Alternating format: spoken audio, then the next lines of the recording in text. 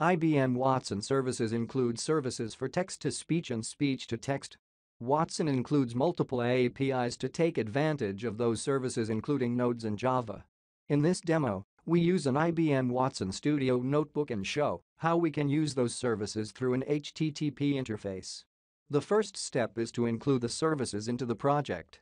To do this, we go to Settings, scroll down to Associated Services Select the Watson drop-down option to add a service. The first service we add is the text-to-speech one. The service supports multiple languages. Note also that there is a free Lite version of the service for up to 10,000 characters per month. Since we already pre-created the services, we can select the existing tab to select our service.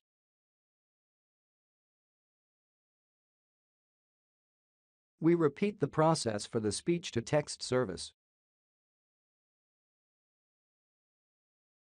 Here too, there is a free service, this one for up to 100 minutes per month. Again, we use a service that we created earlier. Let's go to a notebook to see how we can use them.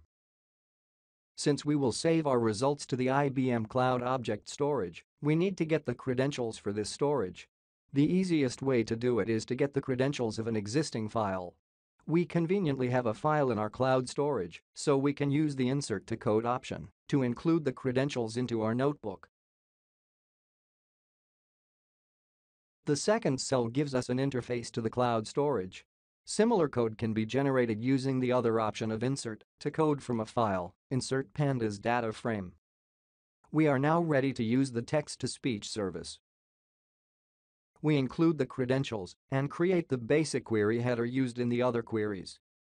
You can find out the available voices through an API call as we can see here.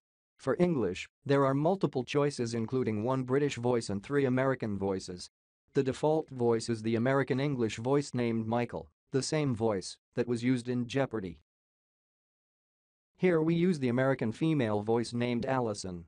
This means that the input text, the quick brown fox jumps over the lazy dog, gets generated as The quick brown fox jumps over the lazy dog. Finally, we write the result to the cloud storage.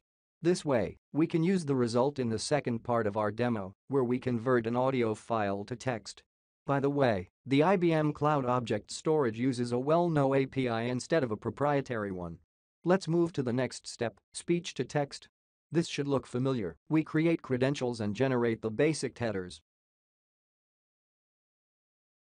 We can find out which models or languages are available in a similar way we found out about the voices available for the text-to-speech service. Let's move to converting an audio file to text. For this purpose, our input is the file we generated with the text-to-speech service. The result can be quite detailed. It could even include timing information and alternative words.